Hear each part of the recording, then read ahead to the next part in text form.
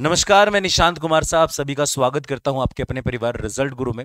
आज जो हम लोग डिस्कस करने वाले हैं एसएससी सीपीओ का जो फाइनल आंसर की आया है, उस पे कि उस फाइनल आंसर की के बाद बच्चे अपना जो कट ऑफ़ है वो कैसे देख पाएँगे कि भाई वो कितना स्कोर करके अपने आप को सेफ़ समझ पाएँगे और आगे की प्रिपरेशन को जारी रख पाएँगे। तो मेरी बातें, मेरी बातों को थोड़ा ध्यान से सुनिएगा। सबसे पहले मैंने आपसे ये कहना है कि भाई जो हमारे पास टोटल पंद्रह हज़ार सात सौ चालीस लोगों ने एग्ज़ाम का शेड्यूल किया था मतलब टोटल पंद्रह हज़ार सात सौ चालीस लोगों ने एग्ज़ाम का फॉर्म डाला था, लेकिन उसमें से चौदह हज़ार नौ सौ साठ विद्यार्थी वहाँ पे परीक्षा सेंटर पहुँच पाए हैं, यानी ninety five point zero four percent बच्चों ने अपनी उपस्थिति जताई है। देखो, बहुत ज़्यादा अंतर तो यहाँ पे नहीं है तो इसके रिगार्डिंग मैं आपसे कहूँगा कि कुछ बहुत ज़्यादा हेरफेर नहीं होने वाला है। अगर आप ध्यान से देखोगे तो आपको पता चलेगा कि जो यू आर अनरिजर्व कैटेगरी है, उसमें दिल्ली पुलिस के लिए आपको 315 से 325 नंबर के बीच में अगर आपका है तो आप एक सेफ़ स्कोर 290 से दो सौ है सेफ़ स्कोर में हो सीआईएसएफ में। और भाई आपका सीआरपीएफ आईटीबीपी एसएसबी अदर जितने भी हैं, उसमें 260 से लेके दो तक अगर आपका नंबर आ रहा है तो आप अपने आप को सेफ़ समझ सकते हो। देखो, पाँच दस आगे पीछे कोई फ़र्क नहीं पड़ता इसमें।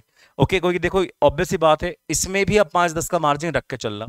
अगर लेकिन यहाँ पे मैंने क्या कर दिया है ना ओबीसी और ईडब्ल्यू को मैंने सेम ही समझा है। क्योंकि देखो, मुझे नहीं लग रहा है कि ओ डब्ल्यू और ओबीसी और ईडब्ल्यू e में जैसा पैटर्न चल रहा है कि बहुत ज़्यादा गैप होगा। मुझे लग रहा है बहुत कैम गैप होगा, यानी दोनों बराबर ही होंगे, ऐसा मैं समझ के चल रहा हूँ।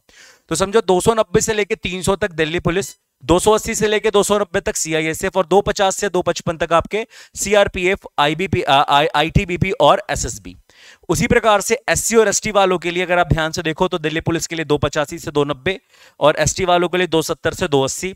यहाँ पे आप देखो कि सीआईएसएफ के लिए दो सत्तर से दो अस्सी, दो पचास से दो सौ साठ और भाई साहब, और यहाँ पे देखोगे तो अदर के लिए 240 200 245 और 230 से 240 तक अगर आप स्क्वायर आ रहे हैं, देखो आपको जो भी स्कोर आ रहा है, आपका स्कोर इन किन के बीच में फिट बैठ रहा है, आप एक बार ध्यान से देख लीजिए अपने कैटेगरी के अनुसार, आप उसी को अपना मतलब रिज़ल्ट मानते हुए आप आगे बढ़ सकते हैं। देखो, अगर आपका ऐसा हो कि भाई साहब बेटा कभी भी रिज़ल्ट खराब हो ना तो मेरी बात हमेशा याद रखना।